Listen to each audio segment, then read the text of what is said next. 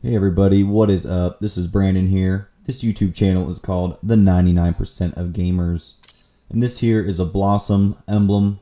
This is going to be a build from start to finish. Layer 1, just the round square, black. I'm going to clear that for now so you can see the grid lines on all the other emblems and how they're made. So here we're going to go to the flag breeze. This is layer 2. You're going to flip it. You're going to move it down. You're going to scale it smaller. And you're going to color it. This is the, the hair of the emblem. That's the color. And once again, these emblems, it's going to take about 23 minutes to build this thing. The whole time I'm going back to other layers and moving things and you'll see. It's, it's a process. This here's the wind sock. This is going to be the right arm. That's the color. And I'm just putting these in a general spot of where they're going to be. I'm going to move them later to the to the spot.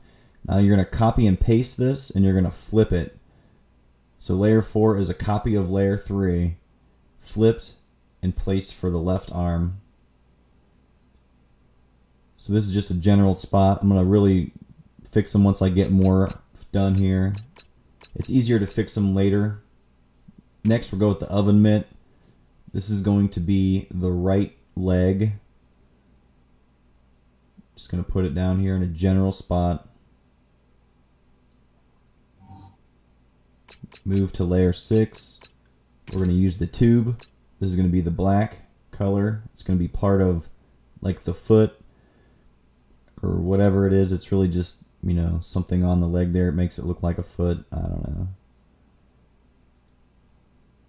So here you're going to hit the RS for to take it out of fixed scale and turning into free scale so you can make them thicker, thinner, or whatever. Layer 7 is another oven mitt. This is going to be the left leg. Hit RS for the fixed scale. I'm just going to stretch it out. Just getting it in a general spot of where it's going to be. Move to layer 8. Oven mitt. Color black. This is the going to be the left part of the, the leg, like the foot area.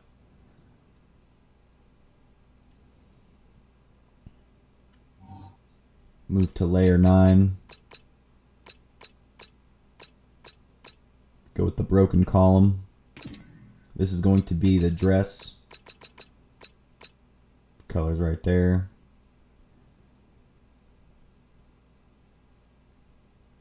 What you're going to do is you're going to flip this. And I also hit RS to move it to free scale. And just kind of make it a little longer, make it wider.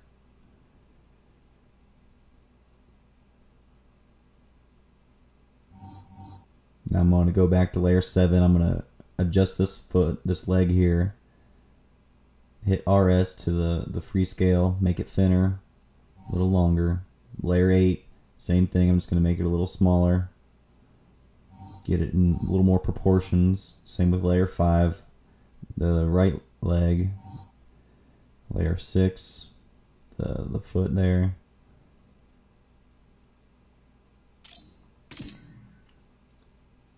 just saving it I'm gonna go back and work on it again move to layer 10 well layer 9 you're gonna copy and paste to layer 10 you're gonna make it black and you're gonna toggle outline so you just get the black outline of that shape layer 11 Go with the visor, make it black. This is going to be the belt.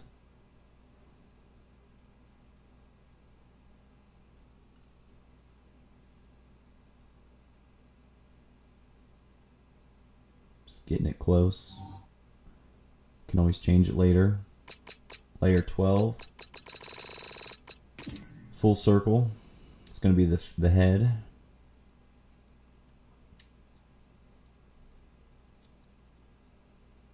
that's going to be the same color as the, as the hands, the arms. Right there. Once you get the head in place, you'll go back to the arms and you're gonna, I'm gonna go into layer four. I'm gonna adjust this one. Layer three, adjust that one. Hit RS. You can hit RS for the free scale, make it thinner, make it more proportioned so it looks better. This is basically up to you. Your emblem's not going to look identical to mine as my emblem this time didn't look identical to the first one I made. Just do your best to get it as close as you can. Go to a full circle again.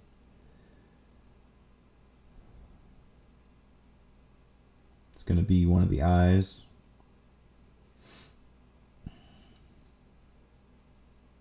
Going to hit the RS for the, the free scale. Make it a little oval. layer 14 is going to be a copy of layer 13.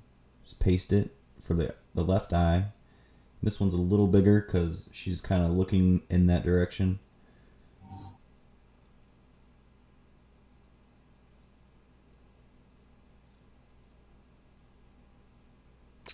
So layer 15 is another full circle. This one's black. It's also part of the eye. No, it's not black. It's going to be a pinkish color. It's going to be part of the, almost the same color as the dress.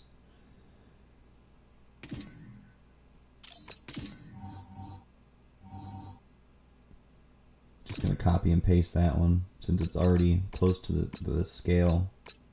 I can just shrink it down a little. It's a little easier to do it that way.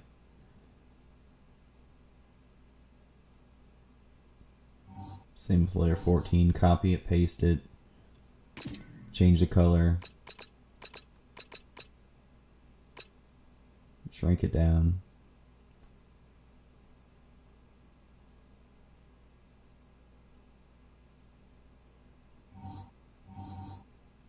I copied that one again, layer 15.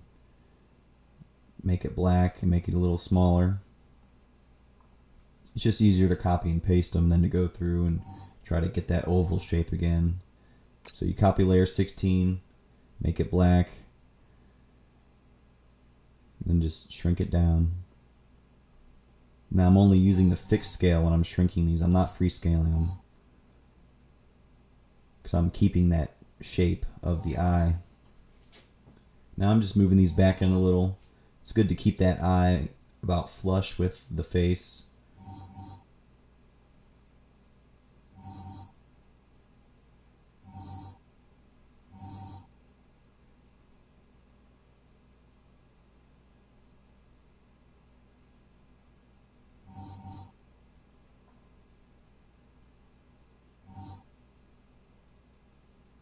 So layer 19, it's another full circle. This one's white.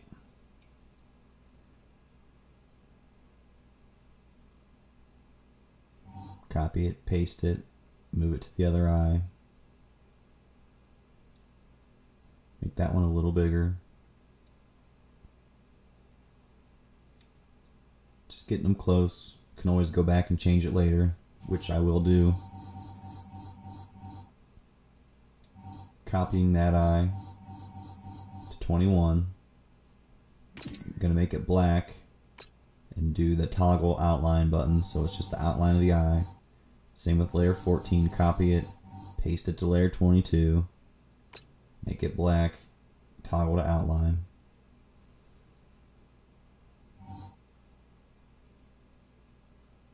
So layer 23, it's going to be half circle, Make it black. It's going to be the mouth.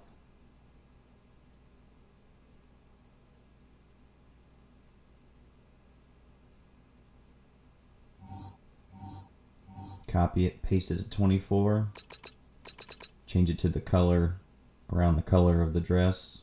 Make it a little smaller. It's going to be the tongue or the mouth.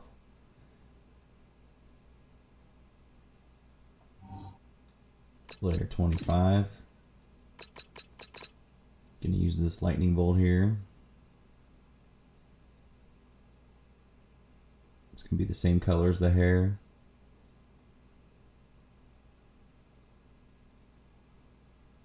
Just gonna copy and paste it, flip it, and then just try to line them up as best as you can.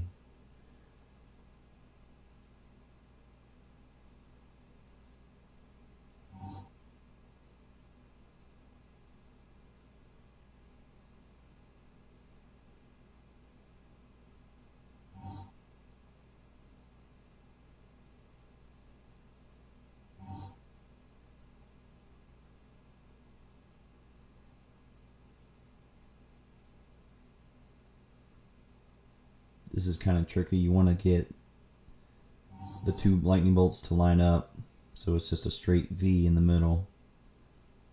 So layer 27, quarter circle, same color as the, the hair. It's going to shrink this one down. It's going to be just another part of the hair on the top, part of the bangs. Layer 28.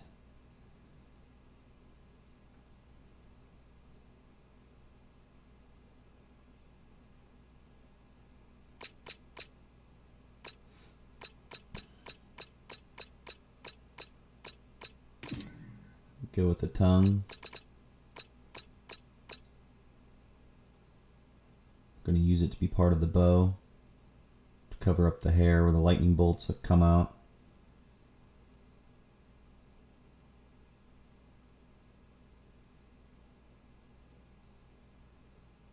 Copy it, paste it to layer 29. Flip it, put it on the other side.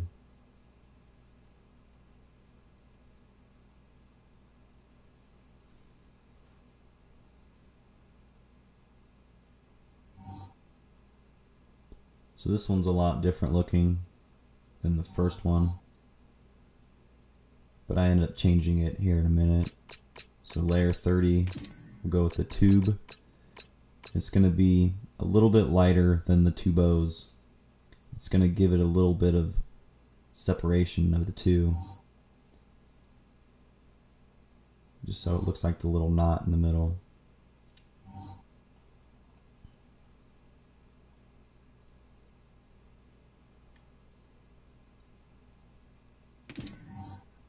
Here I make a copy of layer 30 to 31. Change it to the outline. But I later I later get rid of this step here because it's unneeded. I'll make some changes here and you'll see what I'm what I'm what I mean. I think it looks better the second time I, I change it here. So you can disregard that step there. But for educational purposes, we'll leave this in just to show you the contrast between the two emblems and what I changed and why I think the second one looks a little better. So here I go back to the head, the original face, and I make a copy. Go all the way to layer 32, you paste it, choose the color black, and toggle outline button to give it the outline of the face. So that's what you're gonna shape everything else into. See, I go back to the hair, I adjust the hair to get it in the line. Same with that one. May not change that one. I may, yeah, a little bit. Just line them up. Then I'll, I'll end up changing the eye, the left eye, because it's sticking outside the line. Try to move it in line it up a little better. Right here. Moving the outline in. Move the, the center white in, the black in, the pink in. I'm going to move the, the whole eye in.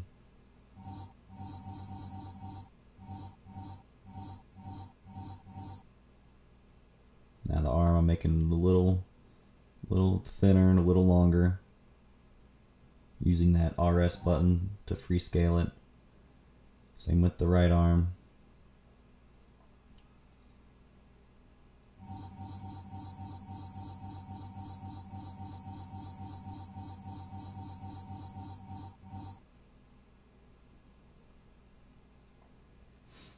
I'm just adjusting these bows, which again I'll later change to make them a little better.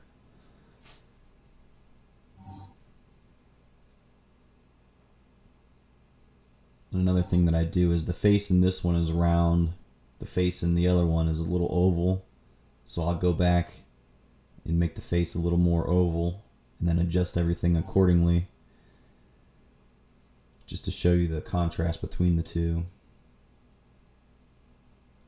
So this is a long process. I mean, I don't build these things in, in five minutes flat. Sometimes you got to take your time and just keep working at it until you get it to look just right.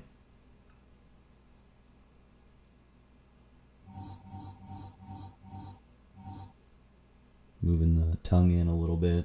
It's too far out.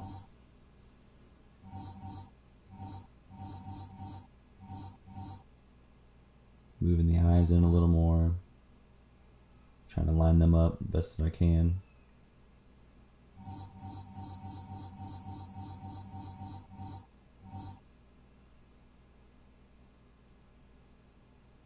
And the leg, I'm going to make it a little bit thinner. Same with the shoe.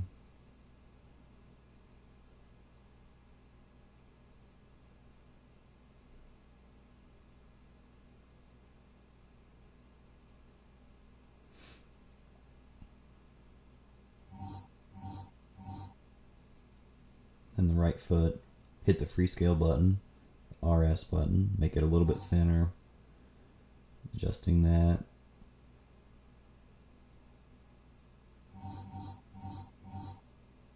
Hair, adjusting the hair, just didn't really look right. Just gonna get it as close as I can.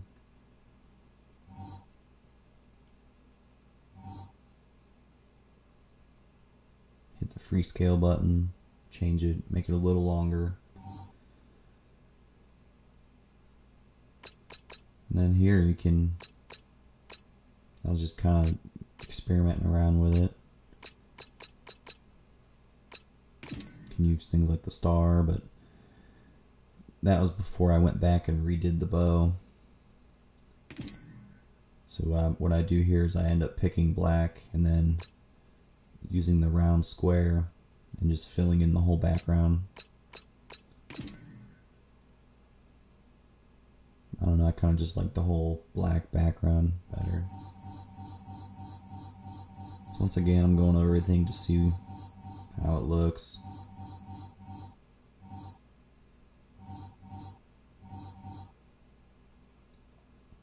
Gonna adjust the eyes a little more. Really, this is a long, long process.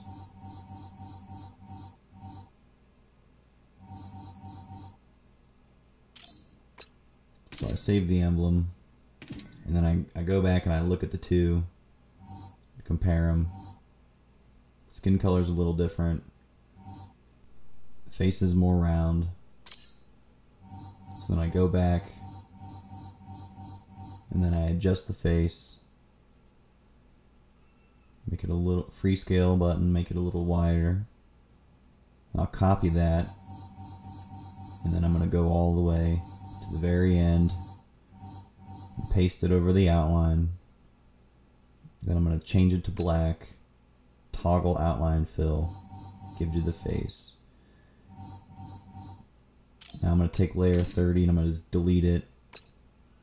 And what I'm going to choose here is the half shuriken. Make it black, and it's going to go right on top of the head, right up here. What I'll do is I'll move it two layers back before the bows. Now I'm going to move the bows out of the way so I can see where to line up layer 28. Make it a little bigger. If you shape it just right, you can cover up all of the lightning bolts on the head. And then that gives you the freedom to move the bows out farther to make them a little, little, it looks better, I think. And it looks more like the original one. And having layer 31 a little bit lighter than the two, it makes it stand out so that it looks like it's outlined even though it really isn't.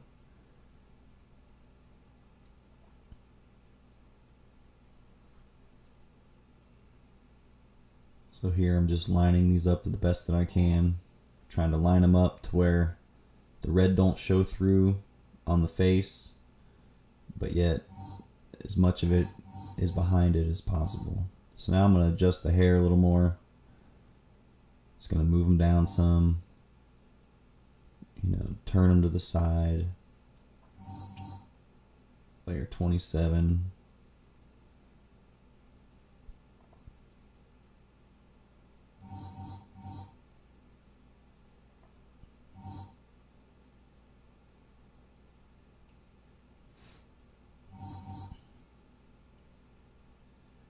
Trying to line them up.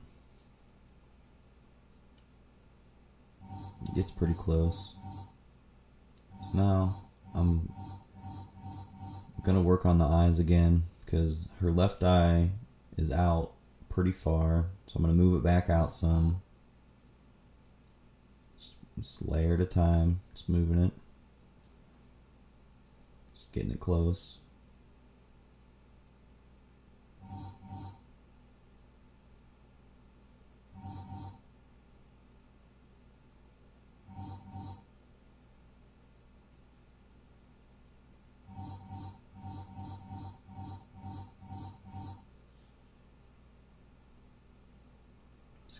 The right eye out a little.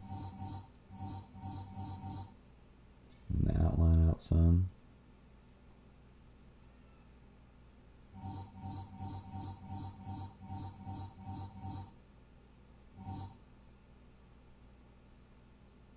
And here I'm just going to rotate this a little bit because the the original one was more to the side And that. I'm just going to make it a little wider.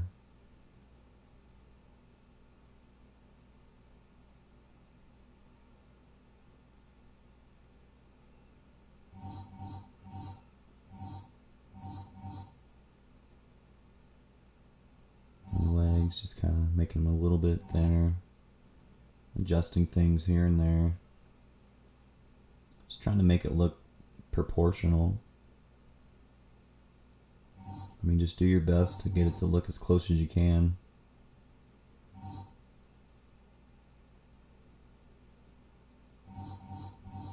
I know the other videos where people make emblems, they just speed it up, play music to it, and it's pretty much impossible to follow it.